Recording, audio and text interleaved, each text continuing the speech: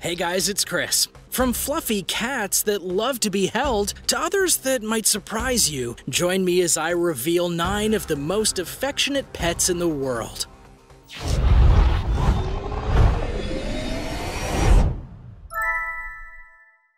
Number 9. The Scottish Fold. Well, it may not sound like it, this is the name of a breed of cat. Cats have a rather divisive history when it comes to the word affectionate, but the Scottish Fold is one that definitely embodies that term. The breed itself has an unusual origin because it was discovered in 1961 in Scotland, where the cat named Susie had an unusual ear condition. Mainly, the ears folded down on its head, making the cat look kind of like an owl. One of its offspring was eventually bought, registered, and then genetically bred to make many, many more. It was then that a geneticist realized that Susie had a mutated gene that made the ears of all cats related to her have the exact same condition. As for what makes them so affectionate, that would be because of their very calm and docile nature. They're all about cuddling with their owners, and many find their round faces and very round eyes make it an adorable creature. Because of their popularity over the last few decades, the cost of a Scottish fold is higher than the usual cost of a cat. Finally, it should be noted that many celebrities also have Scottish folds, including legendary singer Taylor Swift, who has two of this breed. Number 8. Pot-bellied pigs. The idea of having a pig as a pet may sound like an odd concept to some, but farms and other outdoor focused people don't necessarily share that point of view. Pigs may have some stereotypes attached to them, but ones like the pot bellied pigs are typically quite fun and clever as pets if you get to know them. For example, most pig species are rather intelligent, able to understand their owner's commands as well as read situations rather well. Not to mention, pigs are hypoallergenic, which means that if you've got some allergies, you might not be allergic to them, which isn't something that can be said about dogs, cats, and certain other creatures that are typically pets. But more than all of that, the pot-bellied pig among certain other pig species love to be social, which is how many came to learn of their affectionate natures. They like to be petted, played with, and like to run around and enjoy activities in a large area. Plus, if you're looking for a pet with a long lifespan, many of these kinds of pigs last 15 to 20 years. Number 7. Kinkajou. On the exotic side of things, the kinkajou is a rare and special kind of mammal in the world today. Mainly because it may look like a kind of cat, but it's in fact related to monkeys, raccoons, olingos, and more. They're mammals, and ones that primarily like to live in trees, and because of their unique appearance, they've gotten all sorts of nicknames, including monkey bear, honey bear, lion monkey, and more. If you've never heard of one like me, it's because they live in tropical rainforest areas of Central and South America. They're also very much nocturnal creatures. So even if you lived in the area, you may not see one unless you're looking directly at it. Someone eventually discovered they make good exotic pets, so hunting for them became a really big deal. And sure enough, they were right.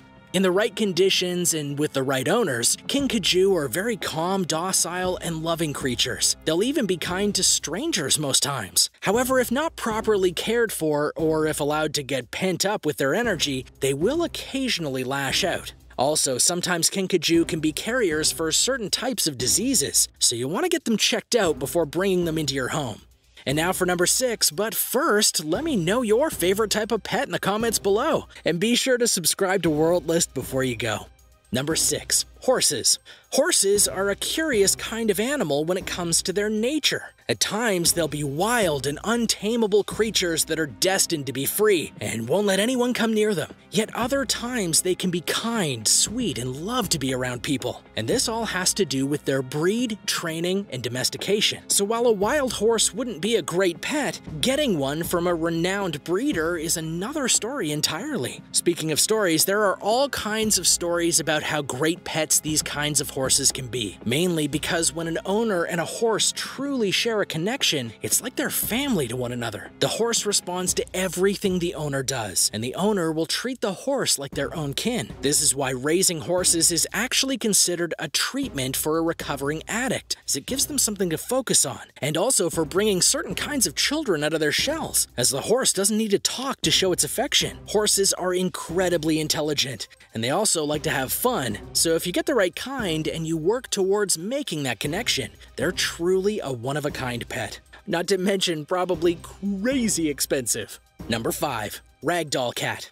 One thing you're unlikely to hear many times is that your cat acts like a dog, yet this is a very apt description for the breed known as the ragdoll. This is because unlike most cats, and like most dogs, the ragdoll wants to be held and cuddle with its owner. True, some cat species do like to be cuddled, but it's usually on their own terms, while ragdolls actively seek cuddles out. In fact, that's how the ragdoll got its name, because when it goes to cuddle with its owner, it goes limp in their arms, creating a unique image kind of like a ragdoll. Their unique personality makes the ragdoll more interested in humans than in other cats, which is another rarity for the species. The ragdoll is a highly desired species of cat for all of these reasons, and it also doesn't hurt that their docile nature means they're incredibly unlikely to lash out in aggression towards other humans or animals. I kind of want one. Probably wouldn't get along with my dog, though. Number 4. Guinea pigs. You could argue that the guinea pig is one of the most popular pets in the world today,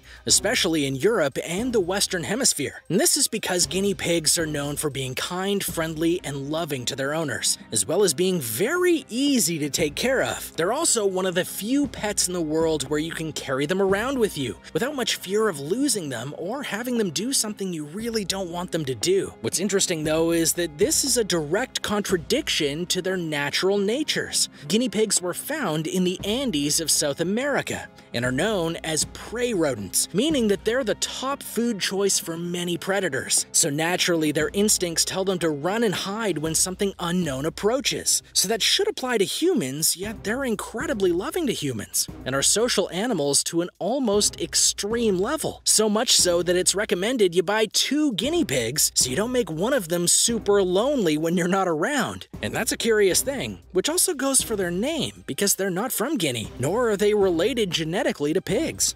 Number 3. Old English Sheepdog.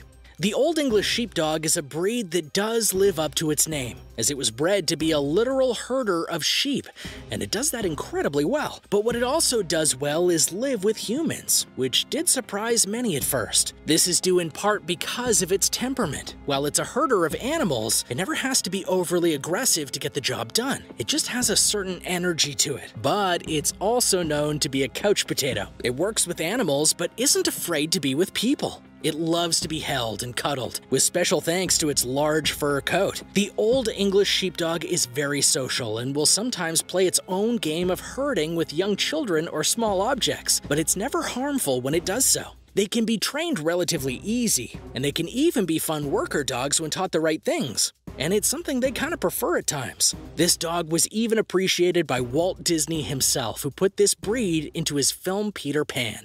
Number 2. Rabbits.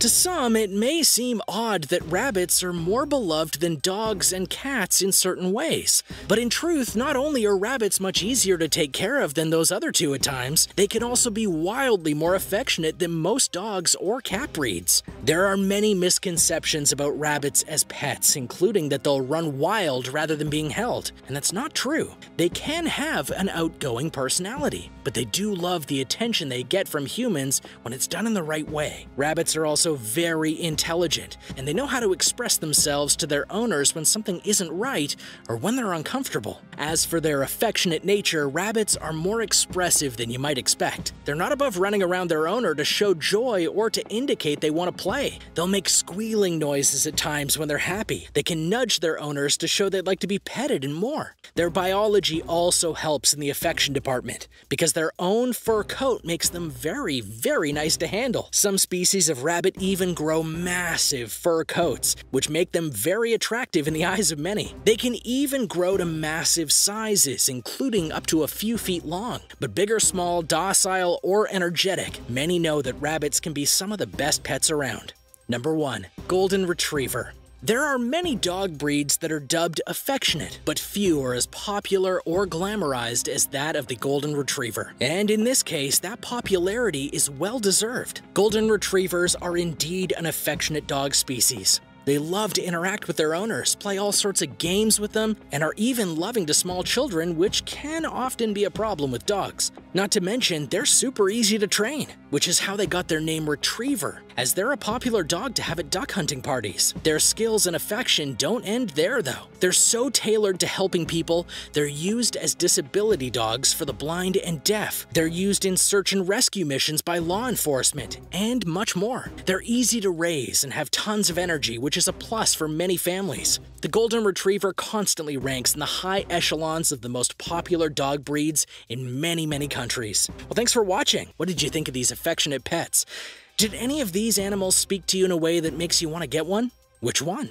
Or do you own one of these pets already? Let me know in the comments below. Be sure to subscribe, and I'll see you next time on World List.